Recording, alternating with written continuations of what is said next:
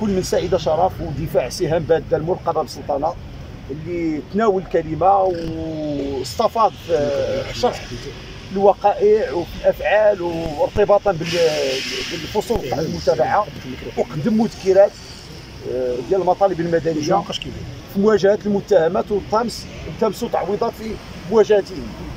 كذلك حنا كذلك حنا كذلك حنا تقدمنا كذلك بواحد بواحد الطلبات ديالنا. ناقشنا القضية كذلك في الجانب المتعلق سواء بالدعوة العمومية أو بالدعوة المدنية التابعة.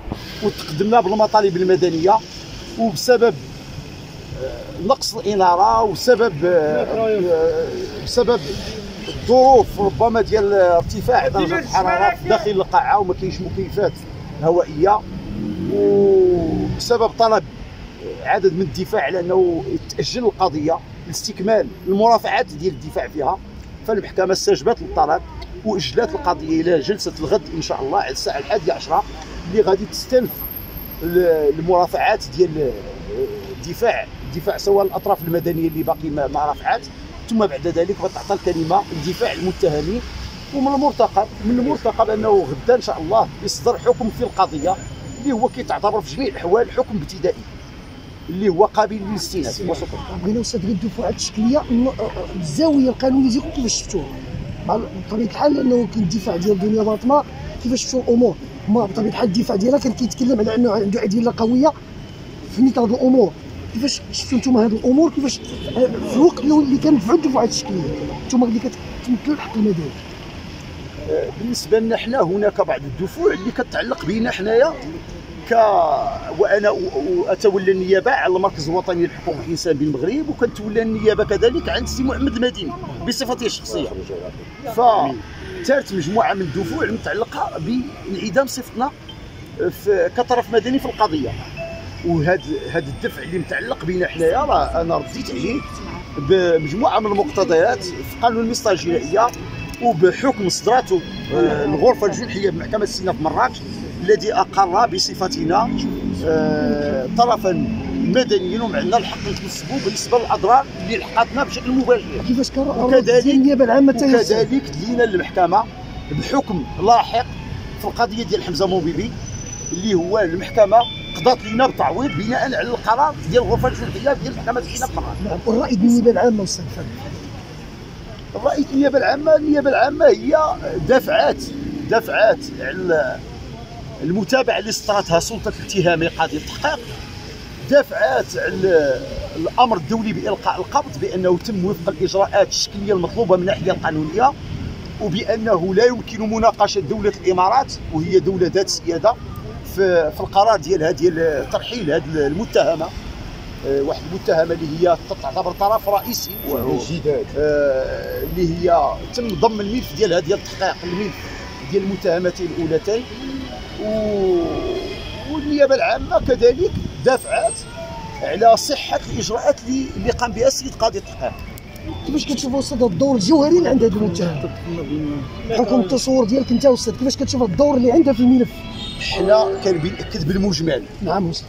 على أن المتابعة اللي تسطرت في حق المتهمات عندها أساس من الواقع.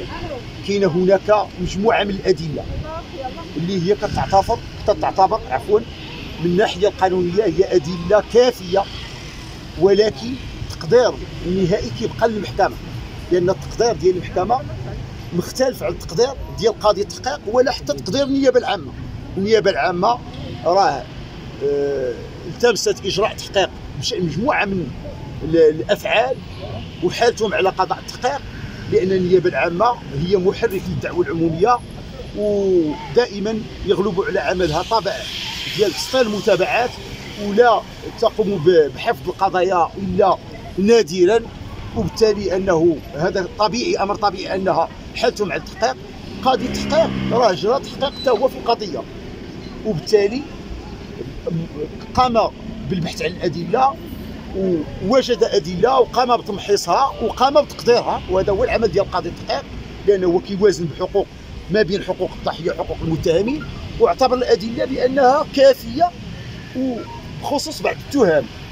وصدر أمر أمر آه بعدم المتابعة جزئيا في بعض التهم ولكن تهم أخرى حالهم المحاكمة آه، حالة اعتقال بالنسبة لثلاث متهمات ومتهمة أخرى في حالة سراح والآن راه غادي تواصل إن شاء الله الجلسات في يوم غد وغادي يكون لنا لقاء معكم إن شاء الله. عدم عدم حضور أس- اذا كان ممكن يسمحوا لي الزملاء عدم حضور؟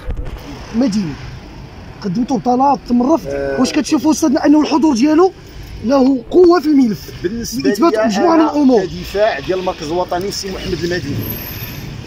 أنا سجلت أمام المحكمة على أنه تم تغييبنا في مجموعة من المراحل الأساسية عند استنطاق المتهمات أمام النيابة العامة وكذلك أمام قاضي التحقيق لأنه قدمنا مذكرة ديال الانتصاب كطرف مدني بالنسبة للمركز الوطني وبالنسبة للسي محمد المديني وعلى أن السيد قاضي التحقيق لأنه الوقت اللي قدمنا المذكرة من بعد جات الجائحة ديال كورونا اللي هذا الوباء اللي هو مس كافه البلدان بما فيهم المغرب واللي بمقتضاه تم تعليق العمل في المحاكم باستثناء بعض القضايا كقضاء التحقيق وقضايا المعتقلين. ولكن لم يتم البت في الطلب ديالنا بالقبول ولم يتم استدعائنا للاستماع إلينا سواء بصفتنا كطرف مدني ولا كشهود. وبالتالي طلبت من المحكمة لأهم اولا لأن المركز الوطني لحقوق الإنسان هو اللي مقدم الشكايه منذ البداية. وأن رئيس ديالو اللي هو معتقل اعتقالا احتياطيا على ذمة قضية أخرى على أن الحضور ديالو سيكون مفيدا لإظهار الحقيقة. ونحن آه، لا نتوخى لأنه سوى الوصول إلى الحقيقة. فالمحكمة كان لها رأي آخر. وماشي تقدمت بطلب ديال انه يحضر السي محمد المديني من السجن وطلبت التاجيل فكذلك الحضور مجموعة من الأطراف اللي ولدت اسمائهم في التحقيقات. لأنه كان كانت محاضر ديال الاستنطاق وكانت محاضر ديال المواجهات وكاينين شي أشخاص اللي استبعدوا قاضي التحقيق وبأنه تحقيق العدالة وإقرار ما يسمى بالقوانين الإجرائية. خاصة ما يتعلق بمبدأ الش- الشفوية. لأن ما كنقصدوا الشفوية؟ هو أن قاضي التحقيق كيخصو يستمع للأطراف هو شخصيا. لأنه هو كاين واحد المبدا ديال الاعتقاد الوجداني والاعتقاد الصميم. خص هو غادي يشوف الملامح ديال الشهيد والملامح ديال الأشخاص اللي داو بالتصريحات وغادي من طبيعة الحال يقدرها لأنه بعض الأشخاص ما يمكنش نحكموا على بعض الأقوال ديالهم إلا بعد أداء اليمين. وخصو قبل ما يدي اليمين خصو تنتهي في اسباب في أسباب التشريع وخصو أنه يدي التصريحات ديالو بأمانة وتفتح لنا حنا المجال باش نطرحوا عليه أسئلة.